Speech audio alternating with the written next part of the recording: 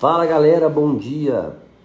Pessoal, é, no vídeo de hoje eu vou mostrar para vocês aí um, um, procedimento que a gente acaba fazendo muito aí em campo para resolver aquele problema do capacitor duplo da problema e você não achar o mesmo capacitor. Aí você vai e divide.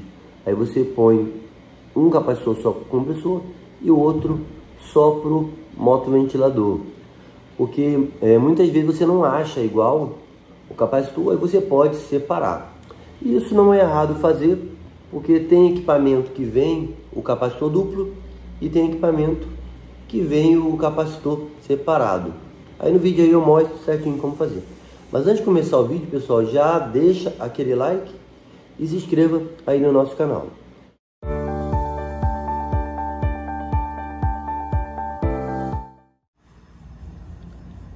Fala galera, tudo bem? Vim aqui ver esse equipamento que não estava funcionando. Aí cheguei aqui, deu problema no capacitor é, do moto ventilador. Aqui é um capacitor duplo, ele é de 50 barra 2,5. Então ele é 50 para o compressor e 2,5 para o ventilador. Aí o que acontece? É, eu não achei para comprar aqui na cidade. E aí o que eu fiz? Eu dividi o capacitor. Eu coloquei um capacitor só para o compressor, um de 50 e um de 2,5 só para o ventilador. Agora mostrar como é que eu faço a ligação.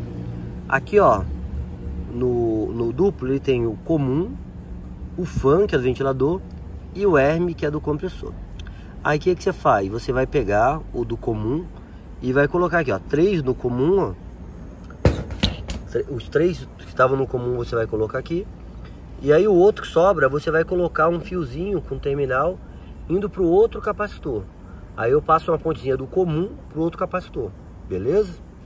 Aí o que era do compressor aqui, esse ERM, eu vou colocar aqui, ó, do outro lado do capacitor do compressor. Aí esse aqui que estava no fan, ó, o que estava no fan, eu ligo do outro lado aqui, ó, do capacitor é, do ventilador. Mas você pode reparar aqui, ó, que ele tem os dois lados, tá? Não pode colocar os dois do mesmo lado que não funciona. Aí coloca do outro lado e prontinho, vai funcionar da mesma maneira que funciona quando é um capacitor duplo. Então, às vezes, é uma solução aí quando você está em campo que pega um problema de capacitor. Então é isso, galera. Espero ter ajudado. Se você gostou do vídeo, já deixa aquele like e se você não está inscrito, dá aquela força e se inscreva no nosso canal. Obrigado pessoal, até mais.